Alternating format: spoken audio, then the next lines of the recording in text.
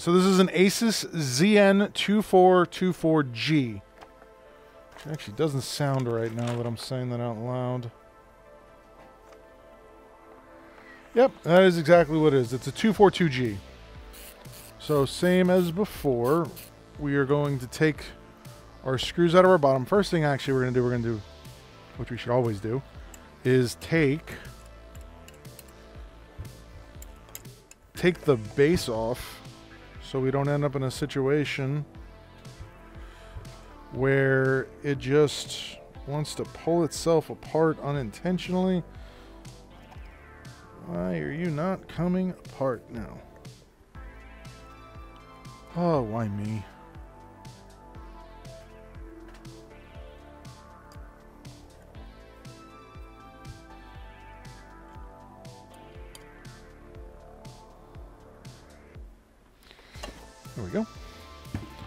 All right, base is off. Now let's get the rest of these screws out. Along the bottom there are five screws.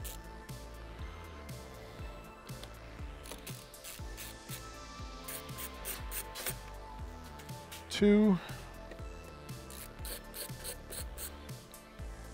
Three. All right, so we got one, two, three, four. We got all four screws out. Now,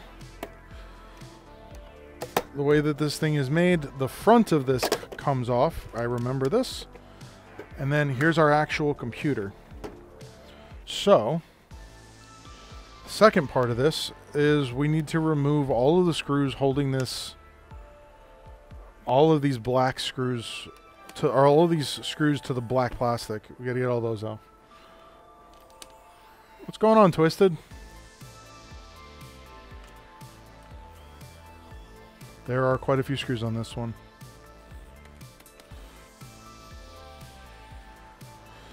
I hope the uh, I hope your situation isn't too serious.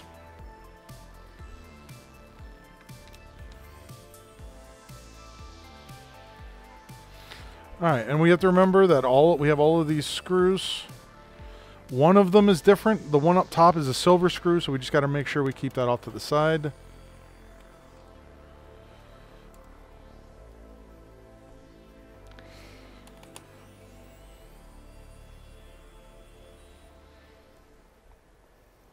Hey, and this will be one thing when I actually make this video that we'll be able to really see the audio difference between She's she's my friend who just had a uh, who just had a child, Emily. I've talked about her on stream before. So, all right, now that we have this off, we are going to check to see the one that we got shipped to see if it is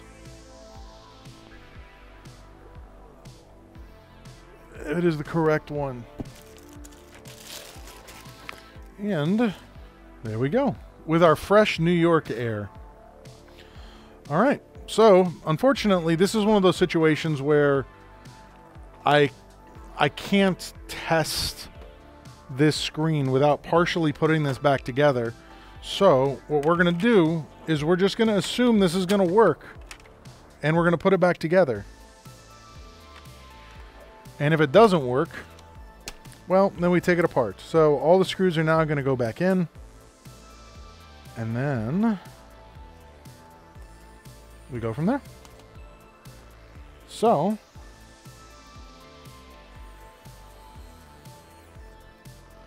screws in.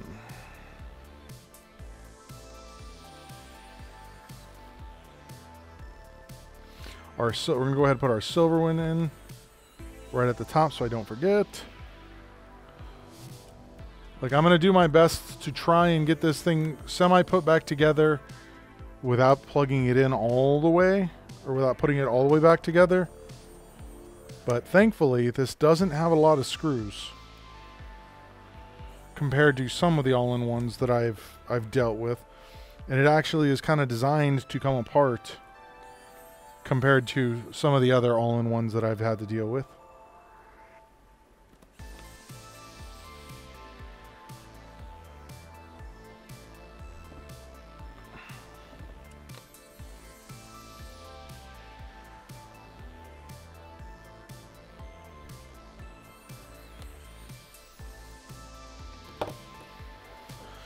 Okay, so we're to gently set this down.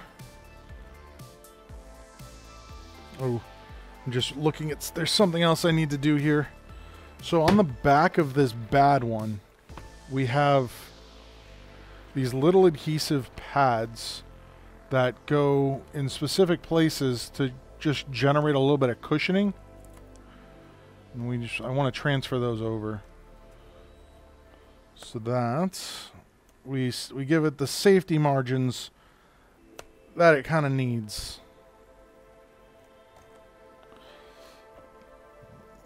Uh, just those four is all I'm really worried about. All right. Now for the actual computer. So first we have our touch connector all the way over here on the left. Just in. We have our touch connector 2. And by touch connector 2, I mean the webcam. And then we have our actual video connector.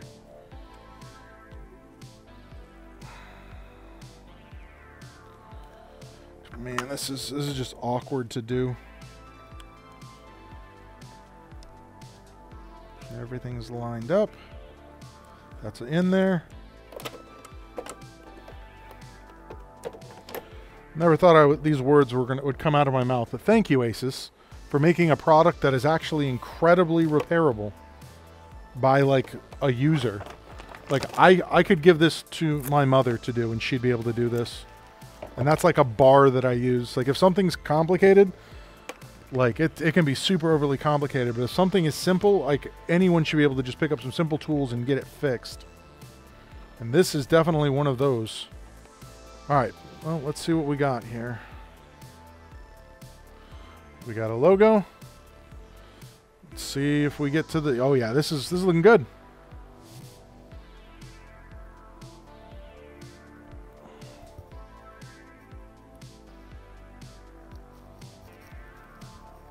Beautiful.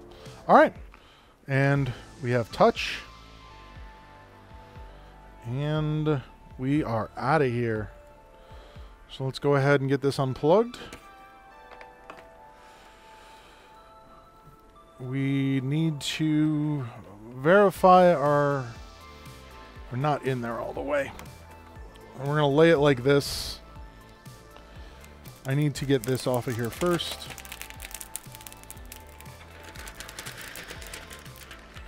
Go. And next... is making sure that this bottom panel down here lines itself all the way back up and that the top of it isn't separating like that which is what I was worried about. Alright, so we need to undo this.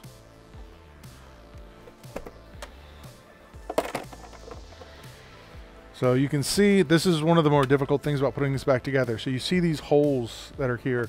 On the inside, there are clips that line up with those holes that need to be that need to be like gently massaged into place. I'm going to pick this up to do it because I don't want to put too much vertical pressure on this.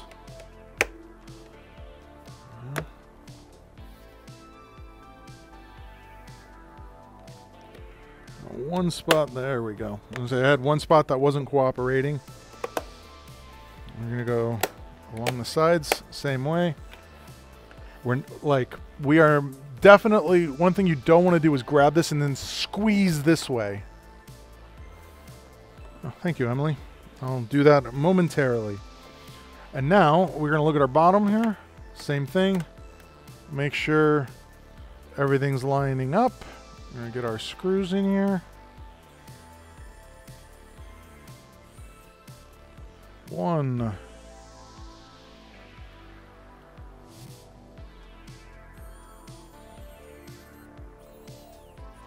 Two.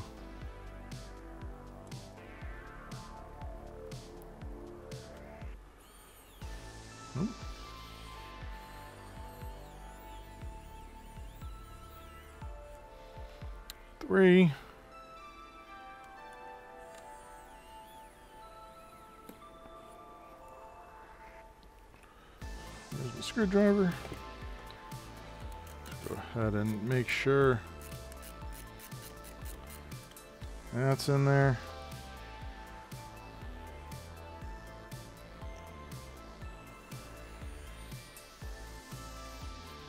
And there we go.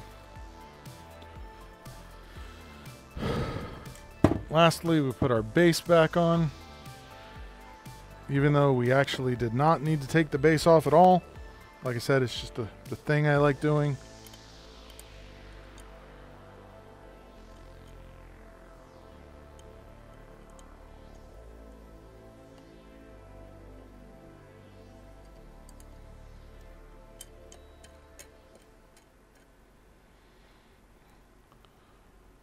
Here we go. We lift, we set, power. Check this seam again. This seam's looking great. Press our power button. And we are greeted with a beautiful photo. We got everything. Use a dry cloth to wipe this off. And there we go. Hey, thanks for watching that video. If you liked that video, make sure you hit the like button. If you want to see more videos like this, make sure you hit the subscribe button. And I stream daily on Twitch at twitch.tv slash specvengeance. And uh, yeah, if you want to learn more about my services, check out bradentonpcrepair.com. Uh, thanks for watching, and I'll catch you on the next one.